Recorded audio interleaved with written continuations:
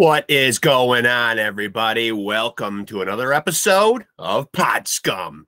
This is the podcast where we dive into the deepest, darkest, murkiest waters with a plethora of legendary guests.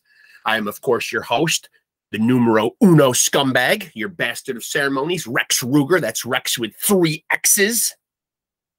You might also know me as AKA the King of Sleaze, AKA the Hair Metal High Priest, and most importantly, AKA Diamond David Lee Roth Jr. Take one look. Here we are, father and son, ruling the airwaves. But DNA testing is almost where we want it, and I will prove once and for all conclusively that that man is my father. But we already all know that you're looking at the son of glam, the front man for the band. Just smoked a few grams, got a million fans. I'm your ice cream man, Mr. Wop Babaloo Boppa Wop Bam Bam Shazam. Hot damn. Feeling good. And as always, everybody in the house is looking good. And that is, of course, made possible by. That's right. Enough said. Coming to you as always from the lush lavender lounge of love. Joined as always by my consigliere, consigliere, however the fuck you say it, my doorman, my head of security, my confidant, my friend, my sometimes drug connection, Mr. Keith Hernandez puppet, a man who, when he speaks, I do hear it.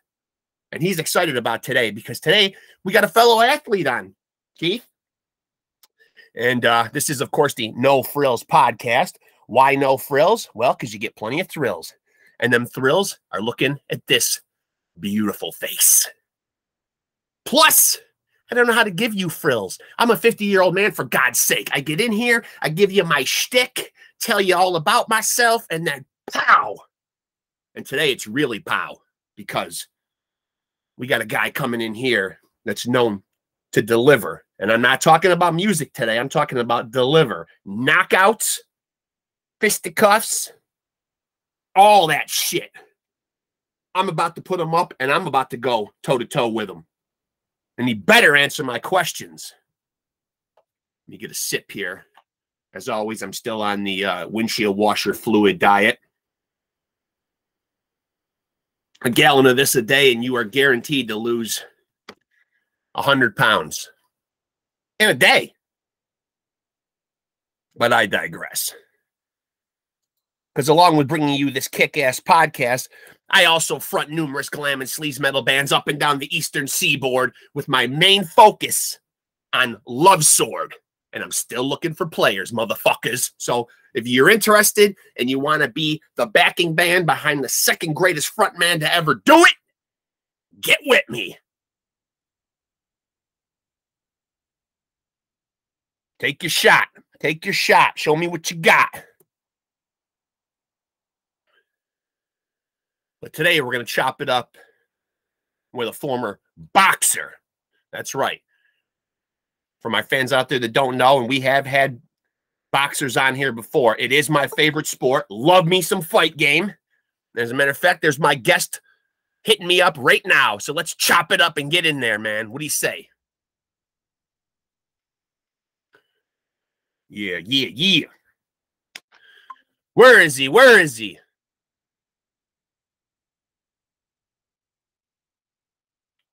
All right, I don't see him yet.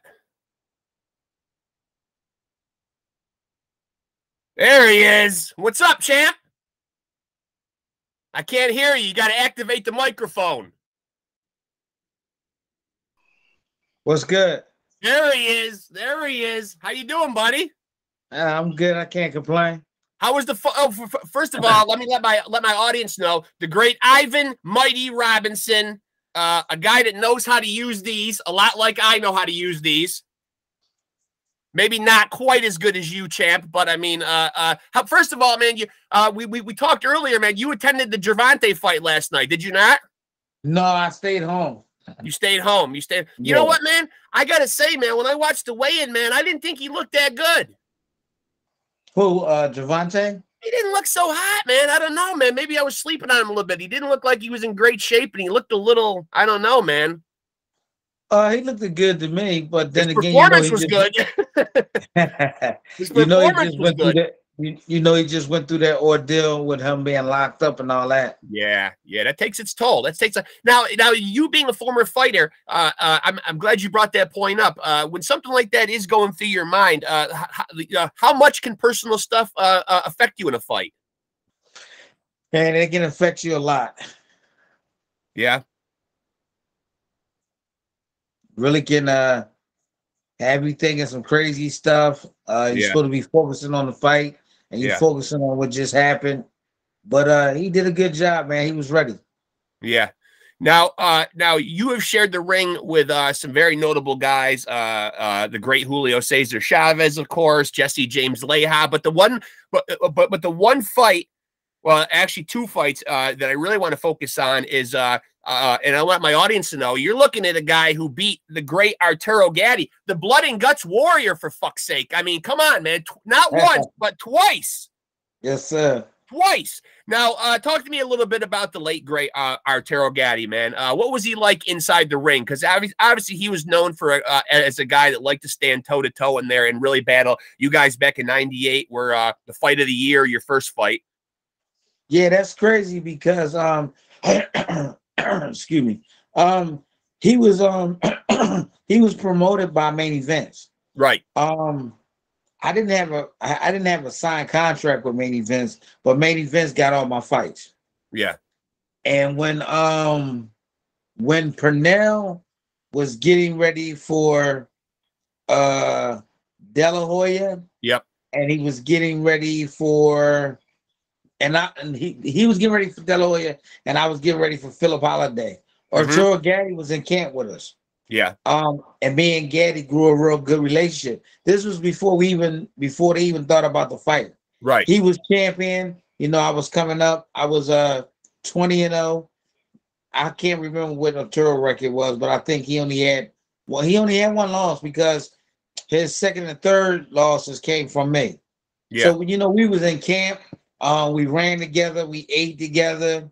We stayed up at night. We talked. We never even thought about fighting. right. Um, it was just crazy that we never sparred each other. He Yeah. always sparred somebody else, and they unfortunately at that time they had me in camp with Pernell for De La Hoya. I was Okay. getting uh I was getting Pernell ready for De La Hoya.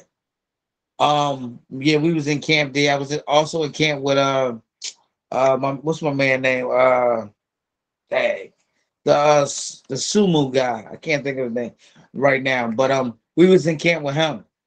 And I was also in camp with Robbie Pender. So Okay. you know, we never we never we always ran together. We got up like five in the morning. We did our little five miles. We came back, we ate breakfast. Then we went to the gym and we and we worked out. He worked out on one side, I worked out on one side, he sparred somebody else, I sparred Pernell. And that's just how it was. Um, it just so happened um after I had lost to Phillip Holiday, uh my manager got me two wins right back to back, like within a four month various. Um Mhm. and Arturo Gay had just fought um uh Gabriel Ruelas and got beat by Gabriel Ruelas. yep. I mean, he knocked out Gabriel Ruelas. At that time, they didn't know who to get for Arturo Gatti. They didn't have nobody in line. I had just fought. I was trying to get back to uh, getting another title shot or fighting somebody caliber at the time. At the time, Shane Mosley was the champion, and I was really trying to fight Shane, but for some reason, our um our team wasn't. They we just wasn't on the same page. Yeah. So they was looking for uh, a Gatti fight. It didn't come along. So messed around. Shane Mosley was coming to Philly to defend his title. He was getting ready to fight somebody. So what happened? The day of the press conference, I went down to the press conference and I interrupted the whole press conference. And me and Shane went at it. And I told Shane that he coming into Philly to fight somebody else. Why not fight somebody that lives in Philly from Philly? So Yeah. me and him got into it.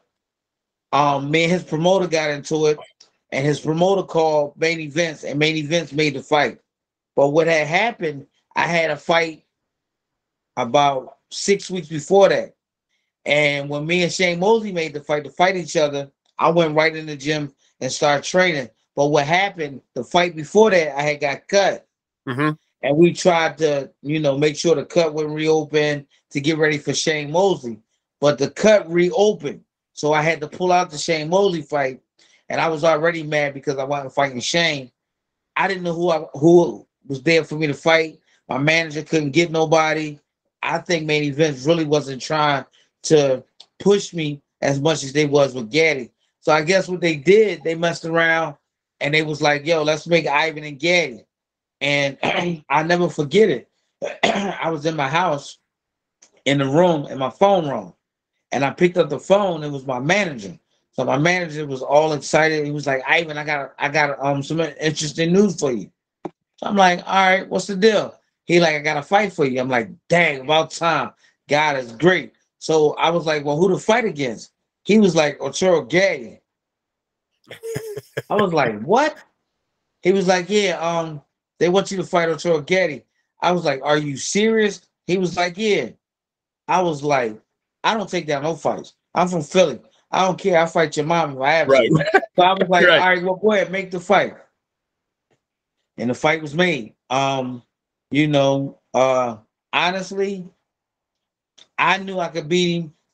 I think my manager and my team was kind of really suspect about that fight because we all knew Gatti was guts and guts and blood fighter. No doubt about we that. He, we know he can punch, and we know that um he was just gonna come at us.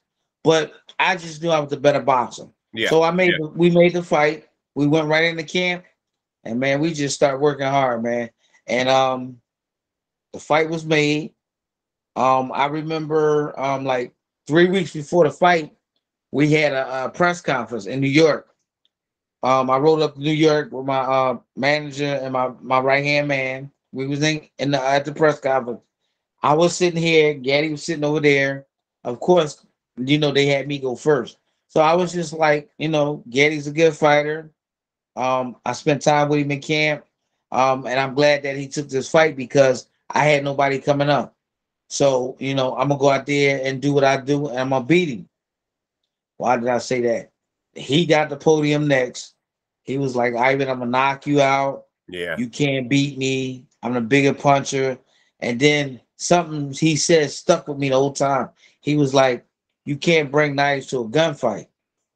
So I'm sitting there saying to myself, like, what is he talking about? Yeah. So Yeah. you know, we we uh had the little uh stare off, stare off with the uh reporters, and then we left.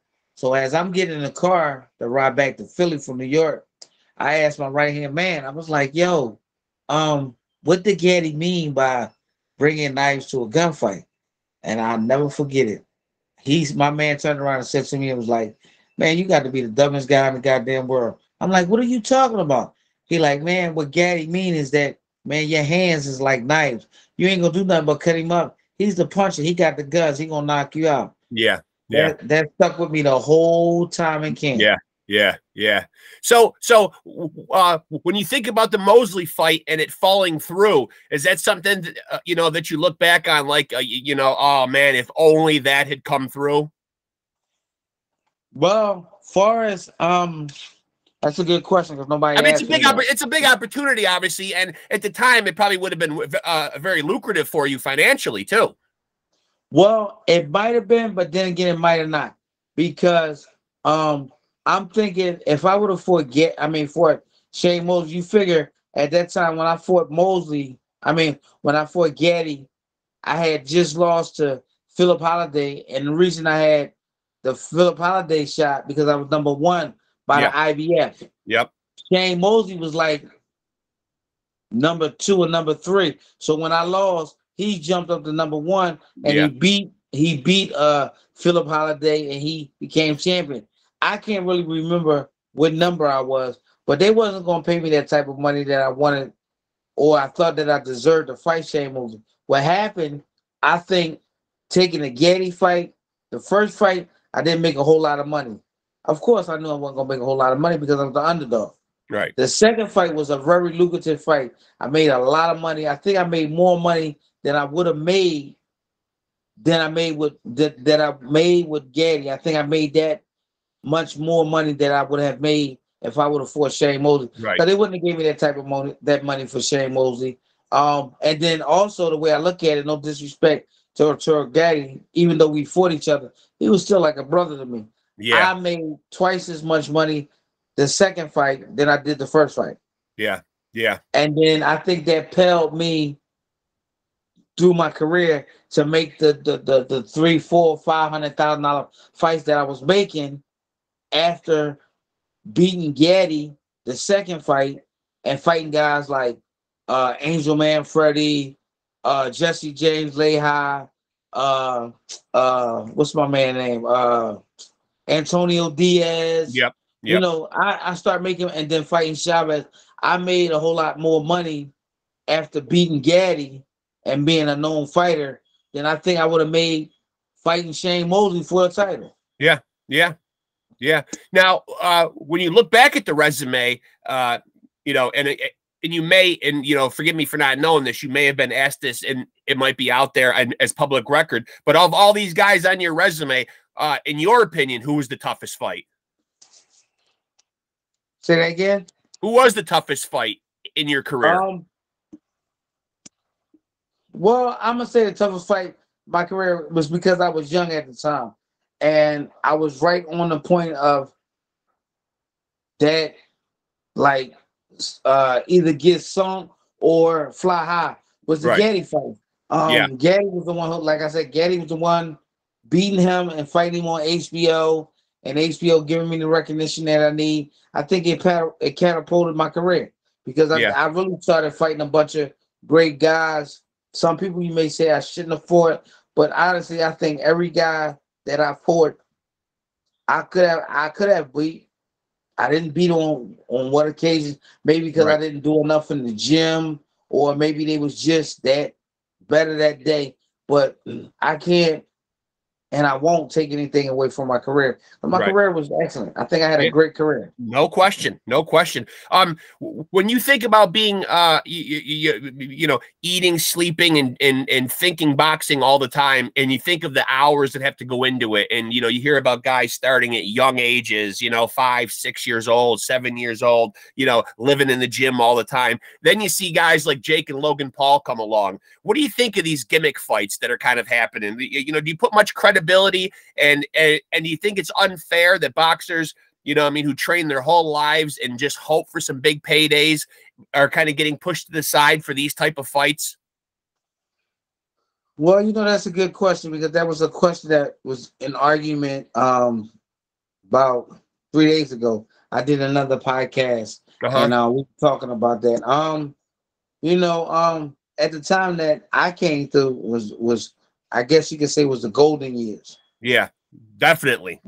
Yeah, now is like water. It's watered down boxing. Um, I don't like the way that things are being done, but I mean, who am I to say anything about it? I mean, this is this is the world. This is how how things are being done nowadays. I mean, I don't like the fact that um you have guys like Jake Paul. I, to be honest with you, besides him doing what he's doing, I actually don't think he ever put on a pair of boxing gloves and know what it is to really be a full time fighter. You know Yeah, I'm saying? agree. And yeah, I I really do think that um some of these fighters are being uh jumped over, being sidestepped, going going around, and and not getting they due. But I mean, what can we do about it? Right, right. You're right. Yeah. Uh, what fights does boxing uh, have to have coming up this year, man? Well, what fights do we need to see that we haven't seen yet? Obviously, there's a lot made about um, Spence and Crawford. Are we going to see that fight? Um, you, you know, there's a lot of fights out there, great fights that could be made. Uh, obviously, we're talking about Tank Davis. You know, him and Ryan Garcia have been gonna fight for a long time now. Are these fights that that, that have to happen to resurrect boxing? Yes, I believe so. We need Yeah. these fights. And um I wish we could go back to the days, and I know you know these days because you there with me around around that time. I wish we could go back to the days where it was just three world titles and everybody and they mom or they sister, they brother trying to get a shot at the title. That's where you will know that who the great fighters are. and let these fighters fight each other. You know, like the Crawford and the Spence, uh, the Boots and the and the uh, the the the the the, the Spencers and the Crawfords, the Jaron Ennises and the Sonolas, all these guys, man. Tank Yeah. Davis, Tank Davis and uh uh Crawford. I mean Crawford. I mean, dang. Ryan Garcia. Davis and uh, Ryan Garcia. Yeah. I want to see. I want to see. I want to see Ryan Garcia fight either uh Shakur Stevenson or um Devin Haney, and I want to see Tank fight the opposite one of them. And actually, I want to see them four fight on the same card. Yeah, that'd be nice. Yeah, that'd be And have great. You know, have a have an elimination bout. The whoever wins on each side, that's who fights, and the losers fight the losers. And now we've seen a lot of guys uh, uh, at advanced ages come back. Uh, is it anything that you've ever entertained? You're done. Yep. Yeah, you're done. You're done. Yeah. Yeah. And you can say that with absolute certainty. No comeback. sir. for- yeah. Yeah. Okay. Never. Fair enough. Fair And if, enough. you, and if you hear it, if you hear it, you got the right to call me and cuss me out. Yeah. Really? Okay. I'm going to hold you to that, man. I'm going to hold you to that. Yeah. Well, do you think sometimes though that some of these guys, man, uh, uh, because I recently just heard on, uh, I believe it was Mike Tyson's podcast, where uh, Oscar De La Hoya said that you know, without having fights uh, or something to train for, that retirement to him is absolutely miserable. He hates being Well, retired. Well, it is. I'm not gonna lie, it is miserable. I mean, I have fighters. I have a couple good young prospects coming up now that I train, one that I manage, and it is kind of uh uh mind-boggling. It does get to the point that I do want to get in there and uh show them things that I know that they can do. Right. you it's know in your blood. It's in your blood. Yeah, definitely. But you know, I, I I call myself I run a block and it's a wreck. so that I'm not doing that. Now you fought De La Hoya in the amateurs. Uh, was that ever a fight that you wanted in the pros? Yeah, well, actually, um, I can't remember what we were. I, I'm gonna just throw it out there. I'm not sure. I think I could have been like 10 and 0, and he could have been like 13 and 0, 14 and 0, something like that. Yeah. And um, remember when he fought Julio Cesar Chavez? No, no, yes. my fault. Yeah. No, no, not not Chavez. When he fought Jesse James Leija, Yes. Yes. I was I was the one he called first to fight. We wanted the fighting, but he outpriced us. He didn't want to pay us the money that we thought that um we should have got. He turned around and gave the money that we wanted. He turned around and gave the money to Jesse James Leija, not Jesse James Leija. Yeah, which I don't think would, uh, which I don't think is as good a fight as the one that you guys would have had, in No, my we would've- opinion. we would have we would have definitely had a, a, a great fight. I mean, because for one, we fought each other three times. I I think I think I'm not sure. I don't want to be all all all uh, skeptical about it, but we knew each other from the three fights. But I think I got a little better because um my game had gotten pushed to a different level because my dad took me to a different level. Then I had Bouie Fisher, that was another great trainer who trained Bernard Hopkins. Legend. So yeah. yeah, I was I, I was at that point that it was either a do or die situation with me with my career, and I think that fight would have definitely been a fight that I could have won. I want to. I want your opinion as a, as a Philly guy. Uh, you know, and so many great boxers come from Philadelphia, but why? Wh- You know, h- uh, uh, uh, I mean, like, why does the- does the city of Philadelphia just breed so many good fighters? What is it? I mean, we know that it's a tough town or whatever. You know, I mean, uh, uh, but but uh, you know, how come so many great fighters come out of there? I to be honest with you, I couldn't tell you that. I mean, if you ask me why, me myself, because I had put myself on a pedestal. I came out around the time that Meldrick Taylor had just won Olympic gold medal. Mhm. and um we never sparred each other, but we was around each other a lot. And I felt though that I had to be better than Meldrick. He was also with main events. So with main events looking at me and me feels though that I was a great fighter, I just felt though I had to do more than what Meldrick was doing at the time to be great. And I think it helped to a point. Yeah, yeah, yeah. Um, when when you know obviously the magazines and the boxing media makes a lot about this. Uh, i don't know how much stock boxers actually put into it or how important it actually is to boxers but it is an accolade that gets thrown a lot around a lot. But pound for pound right now in the boxing world who is the pound for pound best right now in your opinion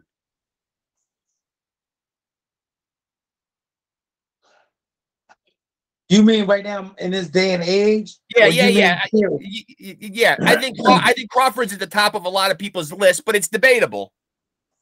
It is. It's very debatable. Um, the the two that I have, eh, you can you can flip flop it either way.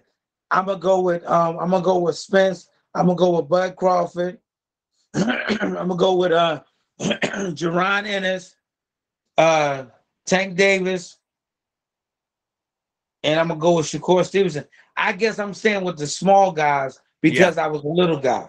Yeah, you right, know, right. I fought 135 my whole career. As an amateur, I fought 125. So really, anything going over 40, I'm not really. I mean, I know a lot of fighters in right. all weight classes, but I'm always prone to the small guys. I love the small guys. Now, now, obviously, uh, the flip side of that, you know, as you mentioned, all time greats. You always hear in all these sports the GOAT talk, greatest of all time, greatest of all time. Uh, who is it for you in your mind? I know I've watched recent interviews and and and and and, and seen you quoted as as having extremely high regard for Sweet Pea. Obviously, he's he, you know he's a guy that you uh, admire a lot. Uh, uh, but but but who is you, who's the GOAT in your mind? Sugar Ray Robinson. All time. Yes, sir. Yes. No doubt. Yes. No doubt. But what was it though about Sweet Pea though? Because you've come out in a lot of interviews though and really put him up on a high pedestal too. What about it was? Uh, what about him? Uh, uh, made him so great? He was he was special, as people say about uh Bud Crawford, yeah, Jaron Ennis. You know, Sweet Pea was just special. It was just he was. I mean, he was just special, man. I mean, and with me, and no, I take no credit away from myself. I was a bad dude myself, but I felt as though nobody could beat me. And at the time that I was training with Pernell, I felt as though I was a bad man. He uh, he put me in my place. He let me know that I wasn't better than him. Yeah. He let me know that I couldn't hit him when I wanted to hit him. I only hit him when he let me hit him. so you know, Pernell was just special, man. He was just that. He was just that guy. Yeah, yeah, yeah. Well, one of the all-time greats for sure. Now, now, you, you know, obviously, uh, uh, you know, uh, top of the interview, we are talking a lot about Arturo Gatti. Uh, unfortunately, uh, you know, he's no longer uh, with us. A lot of controversy, uh, very polarizing topic about if the wife had much to do with it. You know, I mean, if it was actually if it was actually a suicide. Where do you stand on it? Obviously, he was a friend, he was a brother type figure to you. Uh, do you have an opinion on on what happened to Arturo Gatti? And do you think he's the kind of guy that would have taken his own life? No, he never would have taken his own life. His wife took his life. And yeah. I always I tell everybody this. I mean, even though we fought and I beat him because it was it was it, in that situation, it was a do or die situation for me. Not right. for Gatti, because evidently, after I fought he went on to fight, I don't know however long, and he still was able to make millions of dollars. Yep. You know what I'm saying? And the kid, well, I ain't gonna call well, he a kid, yeah. He uh he had a lot of money, you know what I'm saying? He had a lot of real estate. So he did a lot of things great with his money before he passed away. So, you know, hats off to him about that. But in that case, man, um, Gatti wouldn't have never took his life. I understood that he, you know, he had some flamboyant ways about him, like he would get drunk and you know he would act a certain way. But I mean, everybody has their flosses, what they do when they're not around their people or their family or whatever the case may be. But I could never ever really say that Arturo Gatti was a disrespectful guy or he was uh he was. Eh, I mean, he was loved. He was loved yeah. all over the place. He was. I mean, this man was absolutely loved, man, and he would take his shirt off his back for you if he knew you like that.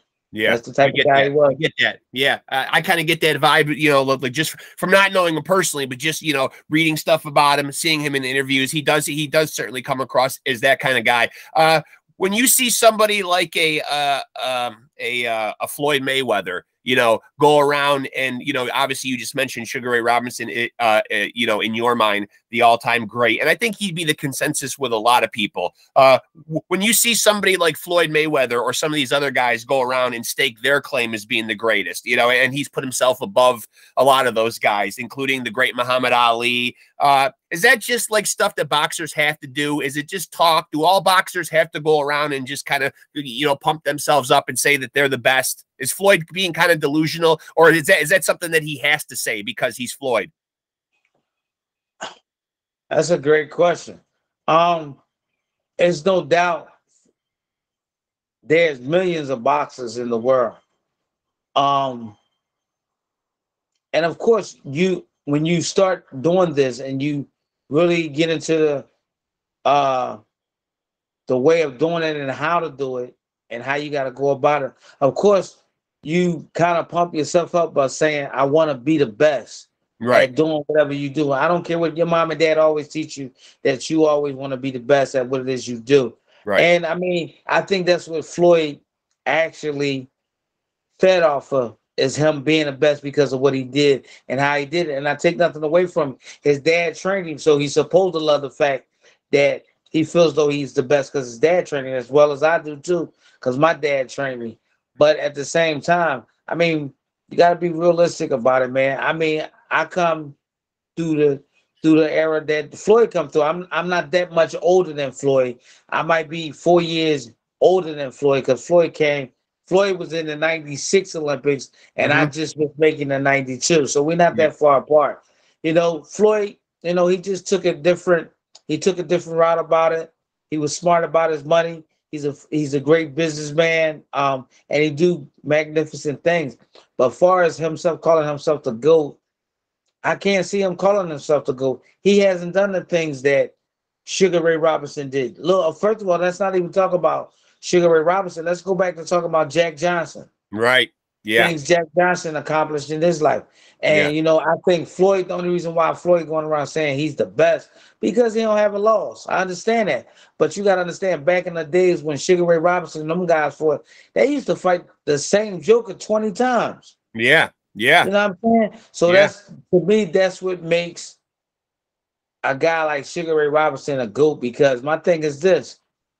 If that's the case, I might as well call myself the GOAT because I done beat I, I done beat Arturo Gatti twice. Right. Nobody ever beat him twice. So right. why ain't I called the GOAT? You right. know what I'm saying? Yeah. So it is what it is, but you know, um, I don't think he's the GOAT. Um, I told you I think Sugar Ray Robinson is the GOAT.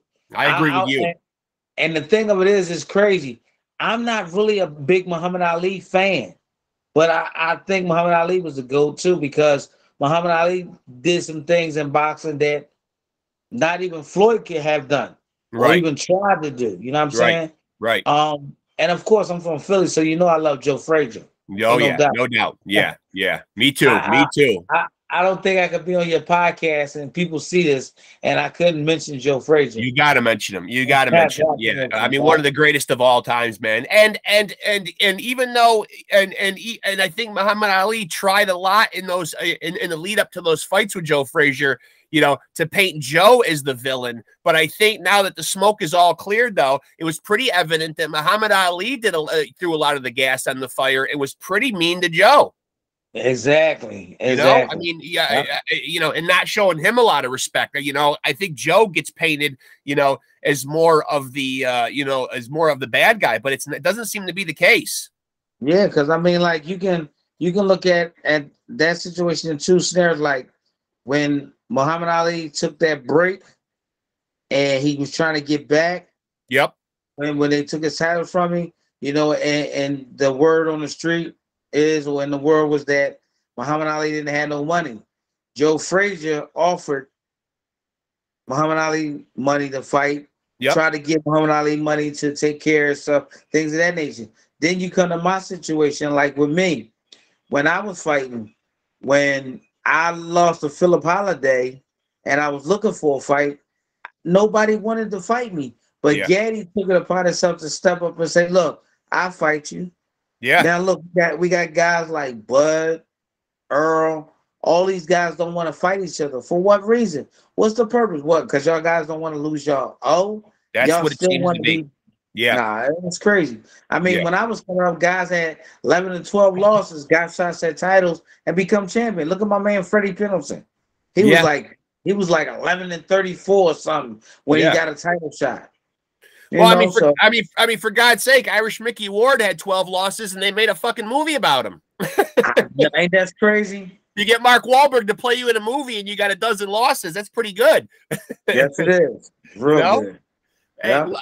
I mean, listen, man, it's been a real honor chopping it up with you, man. I, you know, I love how honest you are. I love your slant and your take on boxing. And, uh, you know, I, I, uh, you know, it's been a, just a real pleasure talking to you, man. And hopefully we can stay in touch. And uh, next time something big is cooking in boxing, we'll get on here and do it again. Yes, sir. I appreciate it. I appreciate it, man. And guess what, man? The Giants are going to the sucking Super Bowl. Your fucking Philadelphia Eagles can suck it, man. It's not happening this year. It's You not happening. funny. It's not. I, I- no, I, I, well, listen. First of all, I don't think today's game is going to be a big barn burner because it looks like both teams are really going to be resting a lot of their players. So Right. you know what I mean. So uh, you know, we both made it into the playoffs, man. And uh, your Eagles look tough this year, though, man. They look tough. They look legit, man. Yeah. They look I legit. hope I hope they don't uh I hope they don't break here. I'm I am an Eagles fan, but then I'm not an Eagles fan because they they let me down all the time, man. I don't Yeah. like to be let down. I know, I know. well, listen, champ, it was great talking to you, man, man, and uh, you know, uh, happy New Year to you, man, and uh, you know, all Thank the you. best to you, man, going forward, dude. And we'll talk again soon, man. Okay, thanks, buddy. Thanks, Mighty. Talk to you soon, brother. All right, All right, later. champ. Later. One. There he goes, folks.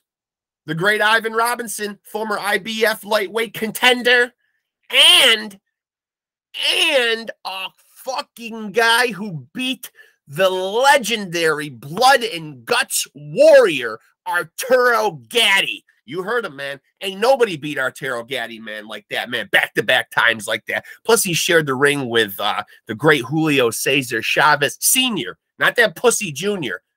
No, Julio Cesar Chavez Sr. has got to be dying of shame, burying his head in the sand at his boy. But, but, uh, my man right there, Ivan Mighty Robinson, fought Pops, fought Pops.